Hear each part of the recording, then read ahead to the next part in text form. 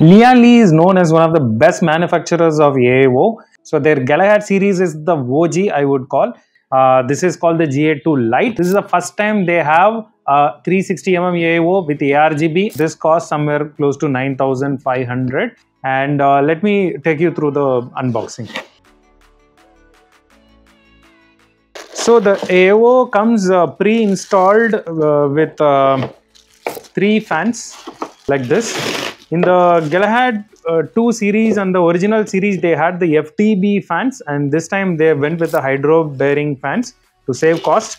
So the GAII Trinity had three interchangeable caps that can change the looks, but this time they they went with one simple look, which is a diffused cap, and it has a dual infinity mirror in the setup, and this is a rotatable thing so that you can mount your uh, AIO in whichever way you want. This is actually meant for a top mounting.